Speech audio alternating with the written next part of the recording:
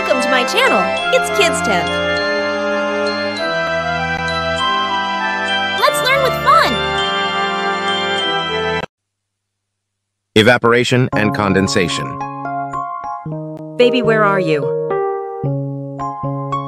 I am here, Mommy. Could you teach me about evaporation and condensation? Sure, baby. Before that, you need to know about three states of matter, which is solid, liquid, and gas.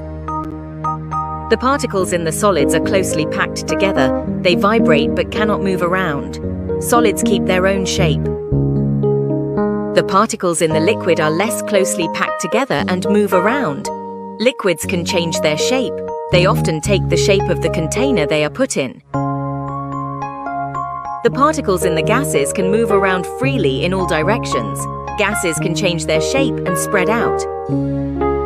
Evaporation is the process of transformation of liquid state to gaseous state by heating below its boiling point. We can observe this in our everyday life also. I will show her how.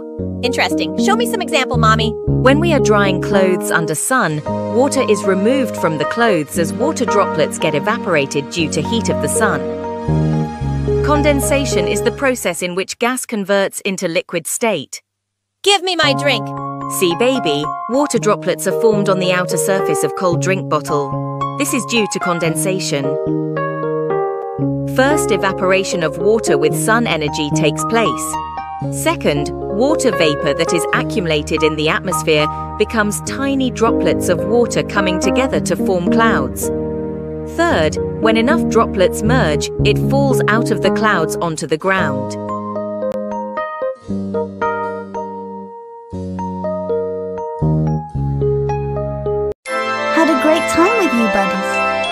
Thanks for watching. If you like this video, share this with your friends. Subscribe for more videos.